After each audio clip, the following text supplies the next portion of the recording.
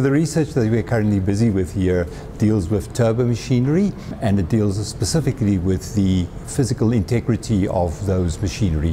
What we are trying to do is to develop techniques based on vibration measurement whereby we can monitor in a non-intrusive way uh, online the vibration of turbo machines and then establish whether the machines are physically sound. The techniques that we have currently developed, or the techniques that we've developed uh, in the laboratory entails measuring blade tip timing. Essentially, we have sensors which we use to sense when the blades get past and when the blades vibrate, uh, we can see whether the blade has arrived earlier or later than it's supposed to be, and from there determine whether there has been or whether the blades are vibrating.